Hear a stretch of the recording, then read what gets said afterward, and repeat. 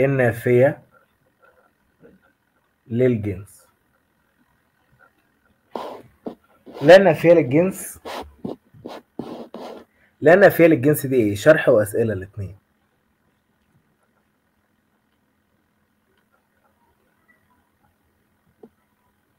تمام ثانية واحدة ثانية واحدة ثانية واحدة يلا.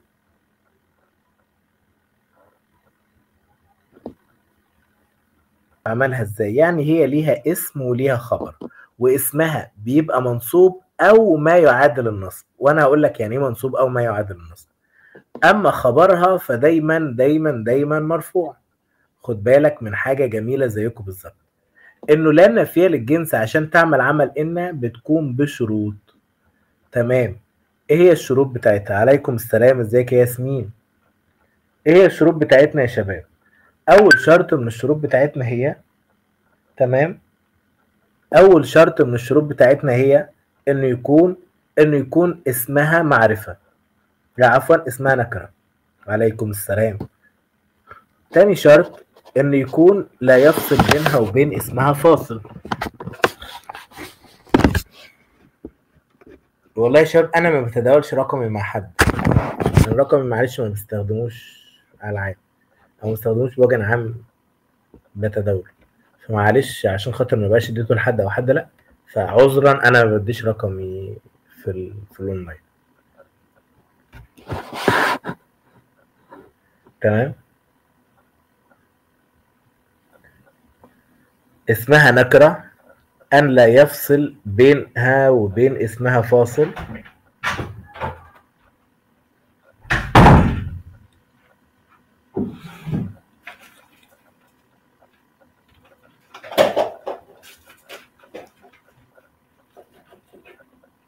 رقم ثلاثة تمام. رقم ثلاثة إنه لا يسبقها حرف جر. لا يا حبيبي هو مش حوار تعاكسي هو هو مش مش مبدأ تعاكسي أنا مش منوع عشان معاكسات. أنا كده كده حتى لو كان كده أنا بعرف أرد عادي بس أنا والله عشان أنا ما أدوش لحد وحد تاني لأ. حطي حبيبتي سؤالك هنا على العام وأنا هرد عليه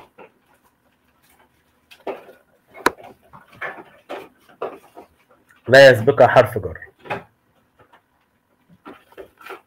طيب تعالى بقى بينا نشوف يا شباب يعني إيه اللي المستر قال عليه ده؟ لو أنا بقول لك مثلا لو أنا بقول لك مثلا بلا شك إسراء متميزة. بلا شك انت متميزة. يا حبيبي اللي عايز يشترك على الخاص يبعت لي هنا على العام وأنا هرد عليه. يبعت لي يكتب بوست على الجروب العام وأنا هرد عليه. أنت متميز أو انت متميزه تمام؟ حلو جدا. طب تعالى نشوف لا هل هنا هل هنا في آه حرف. لا عفوا اسمه نكرة؟ آه اسمه نكرة. في بينه وبين اسمه فاصل؟ لا مفيش. بس سبق حرف جر. يبقى هو فقط شرط. يبقى لا هنا مش نافية للجنس. لا هنا ليست نافية للجنس ولكنها نافية فقط. تمام؟ حلو جدا. تعالى بقى طالما هي نافية فقط أو لا نافية للجنس يبقى يبقى هنلغيها. هنلغيها خالص. وهتقول لي بي شكل ب حرف جر. شك ده تبقى اسم تبقى اسم مجرور. طيب لو أنا قلت المعاليك لو أنا قلت المعاليك مثلا مثلا لا الولد مهمل ولا غيره. تعال نشوف هل هي تحقق فيها الثلاث شروط بتوعنا. هي اسمها نكرة؟ لا اسمها مش نكرة. معنى كده إنها مش نافية للجنس. إنها نافية بس أو نافية للجنس ملغاة العمل. طب إيه السبب في إلغاء عملها؟ إن اسمها هنا معرفة. وهنا هنشطب لا خالص ونعرب ما بعدها حسب موقعه. كلمة الولد جاية في أول الكلام فنقول عليها هنقول عليها مبتدأ. وهنا هي مبتدأ مرفوع بالضم. طب ومهمل خبر مرفوع بالضم عادي جدا. طب يا مستر لو قلت لك لو قلت لك لا في بيتنا مهمل ولا غافل أو ولا غيره. تعالى بقى نشوف. لا في بيتنا مهمل. لا في بيتنا مهمل. لا هنا. سبقها حرف جر؟ لا. طب آه، إيه ده؟ هي المفروض اسمها مهمل. فصل بينها وبين اسمها فاصل. فصل بينها وبين اسمها فاصل. يبقى يبقى هي غير عاملة أو نافية بس. يعني هي نافية للجنس ملغاة العمل يا إما نافية بس ومش نافية للجنس. معنى كده إن أنا هلغي غير خ... ال- لا خالص. وهقرأ الجملة بقى من غيرها. في بيتنا مهمل. في بيتنا مهمل. يبقى فيها تقديم وتأخير. يبقى مهمل. دي مبتدأ مؤخر أما لو لقيتها زي ما أنت كنت بتقول حالا اللي هو إن أنت لقيتها مكتوبة لا ولد مهمل لو لقيتها لا ولد مهمل يبقى لا دي مالها يبقى لا دي معاليك. ها؟ لا دي ها اتحقق فيها الشروط الثلاثة ويبقى دي عاملة ويبقى لا نافية للجنس. اسمها أنا حالا لسه هكلمك عن اسمها وقلت لك من شوية. طب خبرها هنقول عليه خبر لا النافية للجنس مرفوع. صعب ده يا دكاترة؟ حلو.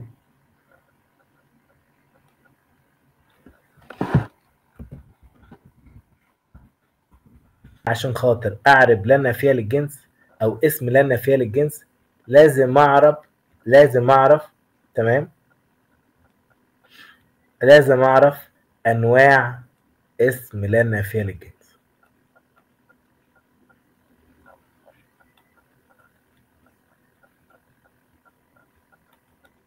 طب إيه انواع اسم لا نافية للجنس؟ انواع اسم لا نافية للجنس أنا هعلمها لك بطريقة انت ما اتعلمتهاش قبل كده. تمام؟ وهعرفك تفرق بينهم إزاي بطريقة جديدة. حاول تركز معايا فيها عشان بجد انت ممكن تكون ما سمعتهاش بالطريقة دي قبل كده. ممكن. الله اعلى وأعلم. بص الاسم لا نافية للجنس ده يكون كلمة يا يكون يا يكون كلمتين. طيب وأنا افرق إزاي يا مستر ان كان كلمة أو كلمتين هعرفك؟ لو كلمة واحدة يبقى ده مفرد. لو كلمتين يبقى ده مضاف أو شبيه بالمضاف.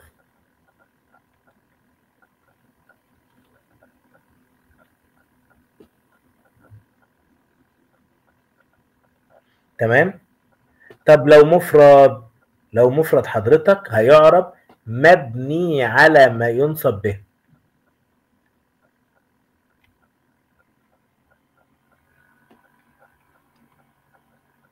طب لو مضاف أو شبيه بالمضاف ما هما الاتنين كلمتين أفرق بينهم إزاي؟ المضاف لا ينون ولا يأتي به نون هيجي يه بس من غير النون يعني يجي معلمي مسلمي آه، فاهمي. طيب أما الشبيه بالمضاف ينون أو يأتي به نون وفي الحالتين هو بيكون منصوب.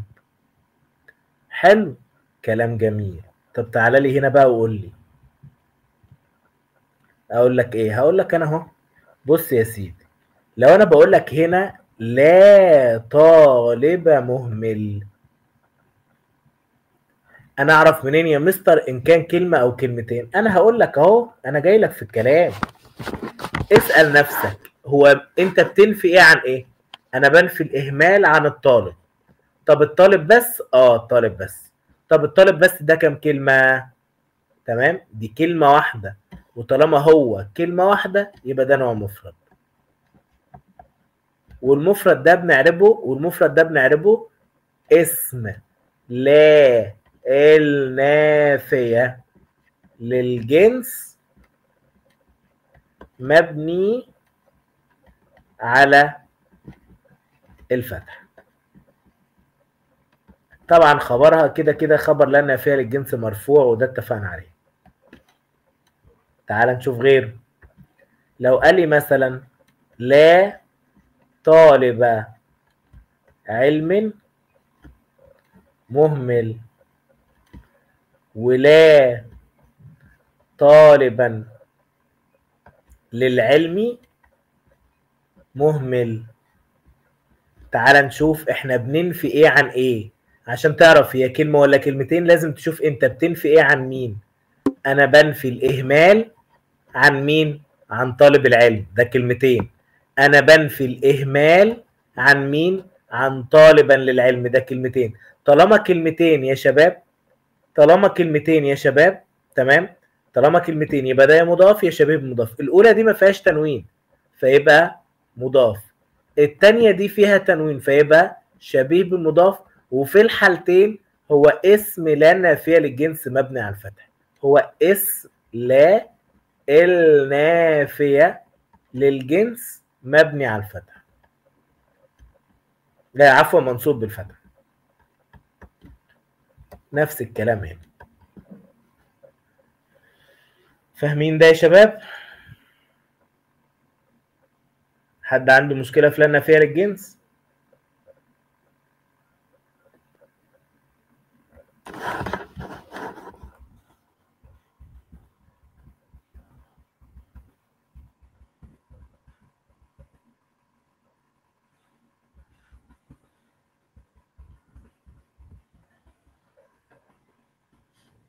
محل من اعراب هي إيه؟ والله رقم واحد الجملة اللي بتبقى خبر خبر المبتدأ العادي. طب وخبر المبتدأ العادي ده بيبقى إيه؟ مرفوع. طب ولو جه جملة يبقى جملة في محل رفع خبر المبتدأ. حلو. يعني أنا لو قلت لك مثلا لو أنا قلت لك مثلا طلابي يذاكرون. فحضرتك هنا طلابي دي مبتدأ وده خلاص شيء مفروغ منه. طلابي دي مبتدأ حلو حلو. إيه اللي جاي بعدها؟ يذاكرون. ويذاكرون ده جملة فعلية. يبقى جملة في محل رفع في محل رفع خبر. رقم اتنين جملة خبر لناسخ. سواء كان الناسخ ده إن وأخواتها يعني حرف أو سواء كان الناسخ كان واخواتها يعني يعني فعل. طب لو كان الناسخ إن واخواتها إيه اللي بيحصل؟ لو كان الناسخ إن واخواتها حضرتك يبقى الخبر ده في محل رفع لأن إن واخواتها بترفع المبتدأ وتنصب الخبر. وهنسيب بقى هندسة يا موسى وهنسيب بقى مرموحة منورة وهنسيب مثلا الحاجات الجميلة دي ونسمع المستر. أما كان فكان ده خبرها بيبقى منصوب. يعني لو جاي جملة هيبقى في محل في محل نصب. بمعنى إيه يا شباب؟ بمعنى إن أنا لو قلت لحضرتك مثلا طلابي أو إن عبد الرحمن يلك أو يتكلم. والله لا كاتبها. إن عبد الرحمن يتكلم لأنه لكاك مؤاخذة عبده. أو جبتها في جملة تانية وقلت كان عبد الرحمن يلك قصدي يتكلم.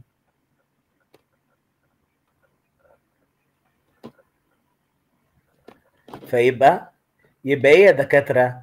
يبقى أنا عندي هنا يتكلم ده خبر إن.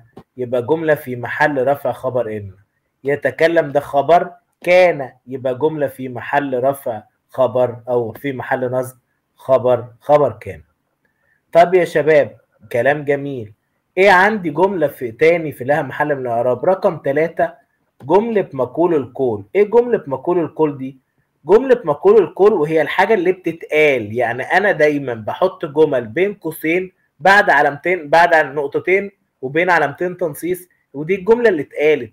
ودايما دي جملة بتبقى بتبقى مفعول به.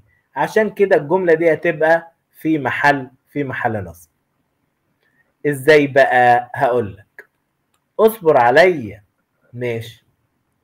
بص يا سيدي لو أنا قلت لك مثلا قال عبد الرحمن صباح الفل يا موحى ولا مش عارف إيه حاجة زي كده. فمثلا عندنا انت اللي وقعت نفسك تحت ضرسي. اشرب بقى. قال عبد الرحمن كلام فارغ. قال عبد الرحمن وده كده فعل وفاعل. قال إيه؟ قال كلام اتقال في النص هنا مثلا كلام فارغ. مثلا حط كلام فارغ. الجملة اللي اتقالت أو الجملة اللي اتحطت بين علامتين التنصيص دي بتبقى جملة في محل نصب ليه؟ لأنها لأنها مفعول مفعول به. تمام. حلو. رقم رقم أربعة. رقم أربعة جملة وقعت مضاف إليه. عشان تبقى تتكلم تاني وأنا بشرح. عشان تبقى تتكلم تاني وأنا بشرح أبو لسان طويل. جملة وقعت مضاف إليه. وإيه الجمل اللي بتقع مضاف إليه؟ والله حضرتك ده بيبقى دايما ظرف ظرف وبيجي بعده جملة فعلية غالبا. غالبا. زي إيه يا مستر؟ هوريك اصبر عليا اصبر تشوف. طب إيه الظروف اللي بيجي بعدها فعل؟ إيه الظروف اللي بيجي بعدها فعل؟ الظروف اللي بيجي بعدها فعل حيث حين منذ ومنذ كمان. وإذا وإذ تمام؟ زي إيه بقى؟ تفتكر زي إيه يا عبد الرحمن؟ سمعت عبد الرحمن حين كان يلك.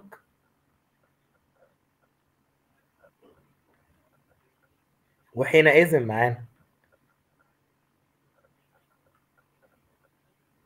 يبقى حضرتك هنا حين دي ظرف وكان يتكلم دي جملة وقعت بعدها فتبقى جملة فعلية في محل نصب مضاف إليه في محل جر مضاف إليه.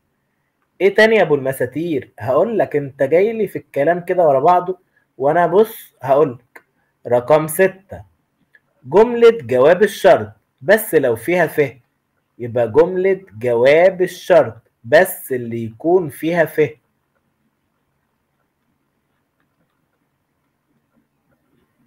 ثانية واحدة يا شباب.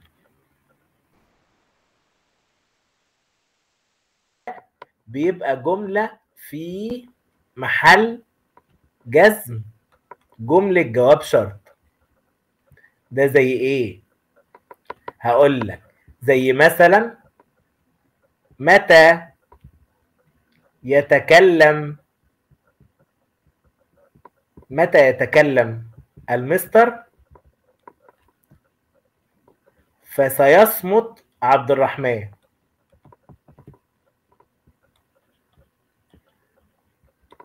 فحضرتك هنا حاضر حاضر. حضرتك هنا لو جيت بصيت لي لو جيت بصيت لي هتلاقي فسيصمت عبد الرحمن دي هي جملة جواب الشرط ودي جملة تمام؟ ودي جملة في محل جزم في محل جزم جملة جواب جملة جواب شرط لأنها اقترنت بالفعل. رقم سبعة. رقم سبعة عندي جملة مالها يا شباب؟ جملة وقعت. نعت أو جملة وقعت حال. طب أعرفهم إزاي من بعض يا أبو المساتير؟ هقول لك. جملة وقعت نعت دي بتكون كلمة نكرة وغالبا بعدها فعل. طب وإزاي تبقى حال؟ العكس بقت كلمة معرفة وبعدها وبعدها فعل. بس الحال حواراته كتير وده بيتاخد في درس لوحده. تمام؟ إيه بقى؟ والله حضرتك بيبقى غالبا بنلاقي واو وضمير وكلمة. ودي بتيجي في القرآن كتير زي وأنتم تعلمون وأنتم تفقهون وأنتم تدركون وأنتم تعقلون. طيب لما أقول لك مثلا سمعت ولدا يتكلم أثناء الحصة. وجيت بدل ولدا خليتها سمعت الولد يتكلم أثناء الحصة واسمه عبد الرحمن. يبقى ولد هنا نكرة وجاي بعدها فعل. يبقى الجملة دي في محل اللي قبلها اللي قبلها منصوب يبقى في محل نصب. نعت تمام؟ لا عيب حوار اشتغل عندي ده يبقى انت كده بتقل بتقل من مني أنا بهزر معاك. وعامة خلاص بلاش. طالما مش قابل هزار يا عم بلاش. هنا هي في محل نصب حال. كده دي الجمل يا شباب التي لا محل من الاعراب تمام؟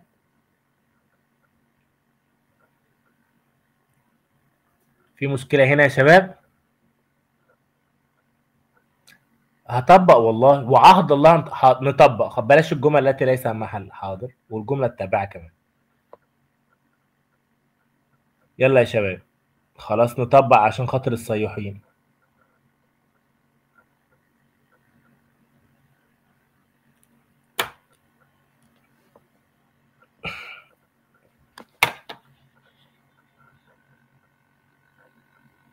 يلا يا شباب بسم الله.